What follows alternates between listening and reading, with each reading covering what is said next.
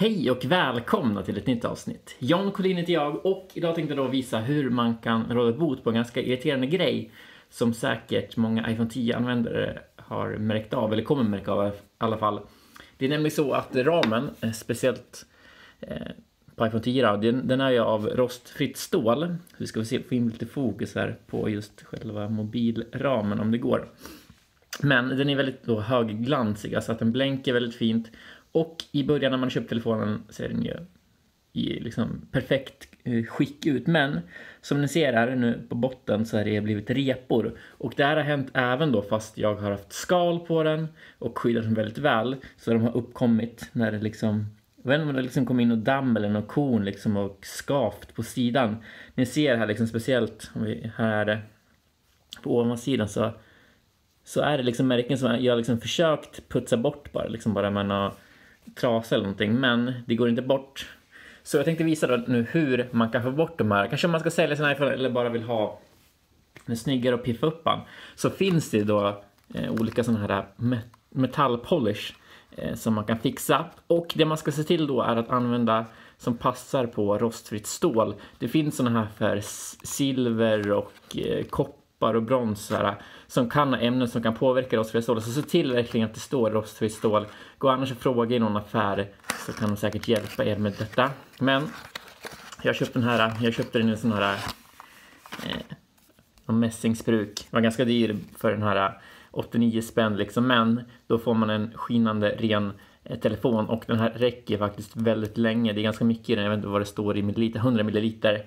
Så på den storleksjämförelse med mobilen så det, det här kommer ju räcka liksom telefonens livstid i alla fall och eh, säkert om någon andra grejer med stål, rostfritt stål. Så den här funkar ju på eh, rostfritt stål, stål, krom, silver, mässing, koppar, brons, tenn, aluminium. Och det ska alltså ge en skinande glans. Man ska ha en eh, bomullstrasa och torka av. Jag har tagit sådana här paddar, jag vet inte. Och vi ska då se hur det går. Så man kan ju först bara liksom testa den på en liten sån undanskymd ut yta så att det verkligen funkar. Men tänk på att inte ta allt för mycket eh, i och med att det är inte så en jättestor yta egentligen vi ska polera. Det är liksom bara ramen runt omkring. Eh, så man kan ta och smeta ut den lite så här. Trasan som ni ser. Sen kan ni börja där det liksom inte är några eh, in till exempel i knapparna eller ta lite mindre där på trasan så att det inte liksom kommer in massa gegga där. Det är inget kul sånt liggandes. Eh, men jag vet inte om ni ser hur mycket det är skruft där. Ni ser lite här ovanför tummen att det är. Så vi börjar väl och polera liksom så ska vi se om det ger någon skillnad sen. Så det är liksom bara göra så här fram och tillbaka. Det kan ju ta tid liksom. Man får tänka på att om det är liksom eh, lite repor och sånt som har lite djup så kanske de inte helt går bort. Men det hjälper kanske runt just de här mindre att få det mycket mer högbanking. Så det luktar lite fränt. Men det ska bli kul att se sen själva resultatet. Så liksom se till att ni tar hela ramen runt och sen liksom undviker ni glaset där så ska det nog inte vara någon fara. Som ni ser så kommer det lossna mycket. Så det kan vi prova att ta bort. Ska vi se då hur vi har lyckats. Och som vi ser nu på en gång faktiskt eh, så är den faktiskt, jag kan inte se en enda liten repa kvar. Den är verkligen så ny. Så eh, vi, och liksom ni ser själva vad mycket som liksom kommer loss av själva, och det här lämnar jag också ett eh, skydd efteråt på själva telefonen som eh, skyddar den. Liksom. Så det är perfekt det här. Eh, väl, väl värd investering, som 89 spänn för att få i princip ramen som ny igen. Så jag tänkte att jag kör runt hela telefonen eh, så kollar vi sen i slutet hur resultatet blir. Men vi kan köra en snabbspolning på det här. Och tänk på liksom när ni har liksom fått svart så byt eh, bomullstuss så att ni liksom inte har några spår och metallgruskorn liksom i som kan repa när ni håller på att polera liksom.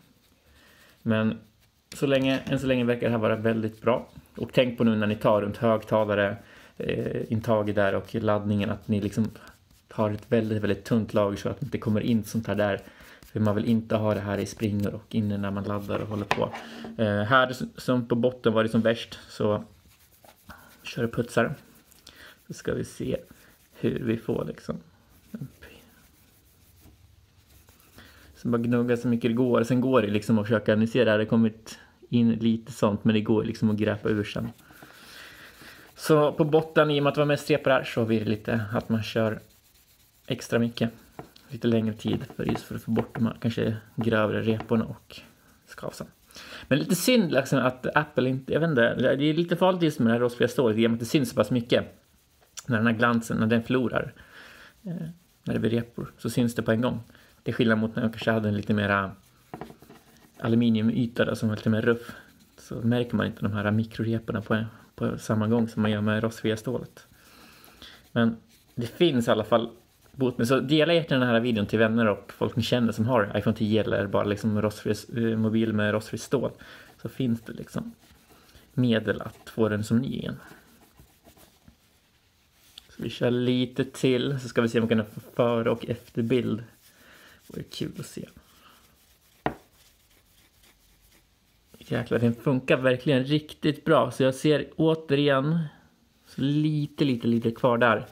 Men det här liksom kan ju skillnaden på väldigt många hundralappar eh, när man ska sälja den sen. Liksom att säga att den har lite repor på sig eller säga att den ser ut som blänker som ny. Det gör faktiskt väldigt mycket. Och även för en själv liksom att veta att det finns, att man kan få bort de här reporna. Att de inte är permanenta. Så vi såg att vi hade lite, Eh, vi får precis där var det lite kvar.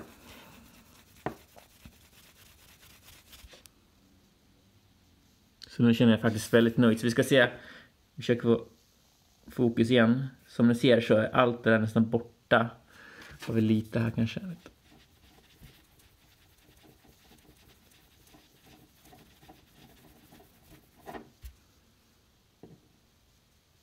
Så ingenting kvar i reporna. Så nu ska vi köra hela liksom långsidan.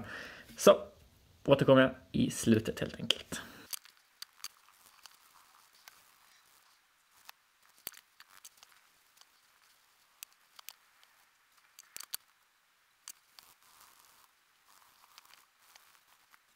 Så, eh, nu har jag gjort runt hela ett varv. Liksom det tog max kanske två, tre minuter här.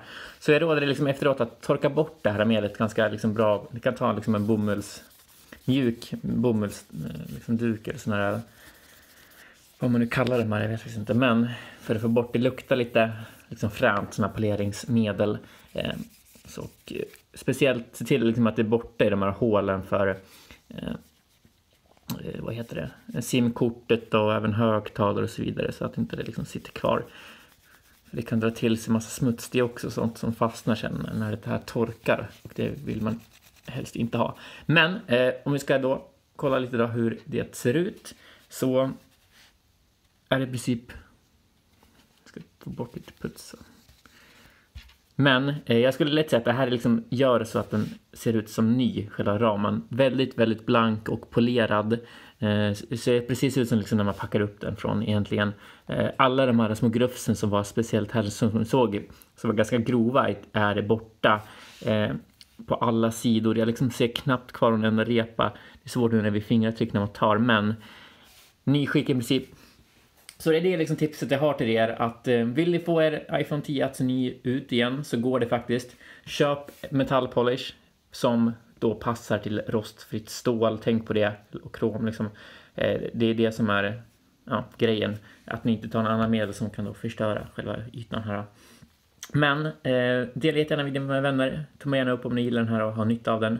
Så kommer jag komma med mer videos i framtiden. Så prenumerera gärna också. Det finns för massor med andra videos också på kanalen att kolla på. Massa tipsvideos. Tack för mig. Jag hoppas ni har en bra helg. Så hörs vi igen sen eh, i nästa video. Hejdå!